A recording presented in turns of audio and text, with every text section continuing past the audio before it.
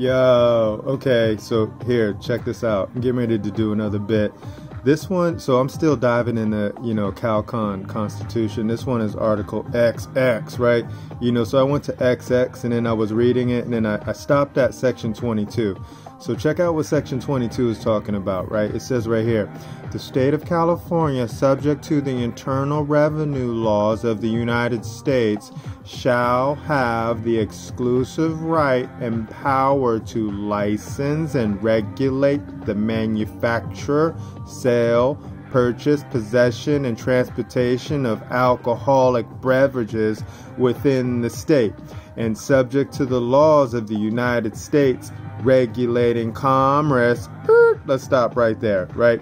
So, you see this?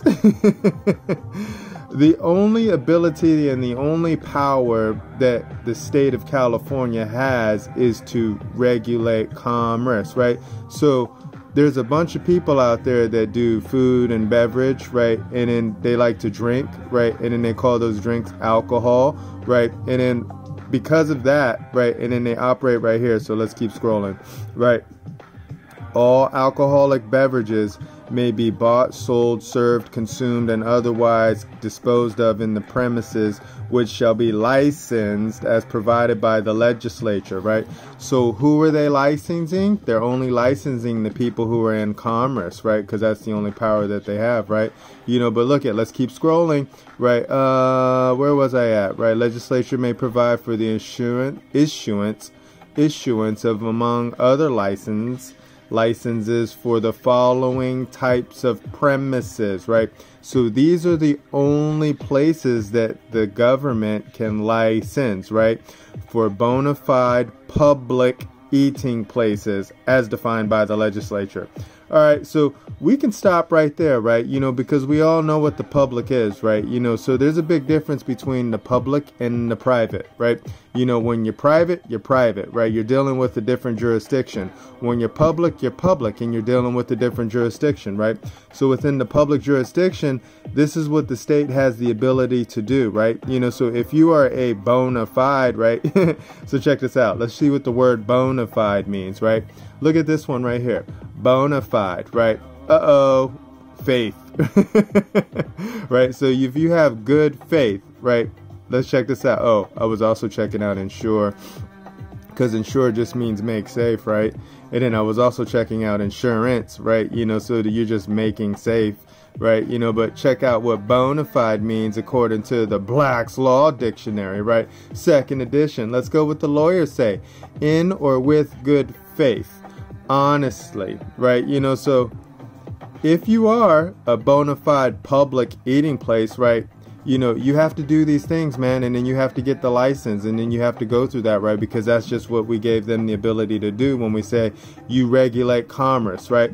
But we didn't give them the ability to regulate the private, right? And when you're in the private, you can do so many amazing things, man, you know, as long as you're responsible, but then that happens to deal with whatever private private membership association that you might be a part of, right? And then they're going to have their own rules and they're going to have their own guidelines and then they're going to be responsible for the people, which would be called the members that are in their private membership association, right? So the state is responsible for the states, right? And then the state regulates all commerce, right? So if you're a food and beverage, and you happen to play in the states industry, you do this, man. You make sure that you follow these rules, right? You follow these rules, you pay your taxes, you do everything that it is that you need to do, man.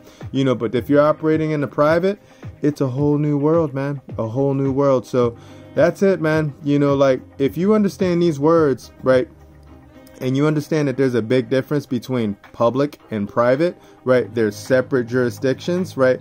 Then you should know what's up, man. You know, but that's it. I'm done. You know, I'm gonna go and I'm gonna chill. I'm listening to the music and I'm still reading the, the Constitution because I'm just finding so many fun bits in here, right? There's so many places that you can play, right? There's so much you can do when you're private. There's so many things that you can do when you're private, right? So, you know, when these, when the government tries to regulate our economy, they're messing up, right? They're messing up big time. And I'm starting to find out how they've been messing up because I'm reading the rules to the game, man, that they're supposed to be playing, right? And I know that there's a different rule book for the private people, right? These are for the public people, right? See the public eating places, right? So, hey, check this out. If you wanna, if you wanna move from the public into the private, or if you wanna wear two hats, right? Contact us and then we could talk about some things and we could see what's up, man, because we know how to use the hands, man. All right, I'll talk to you guys in the future. I'm gonna get back to work. No one's having more fun than us. Bye.